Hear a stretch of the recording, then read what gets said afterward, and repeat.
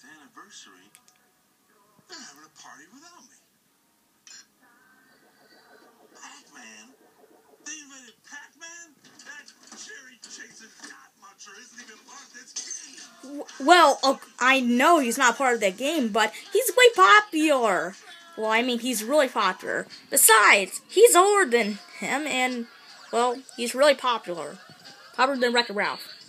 Yeah.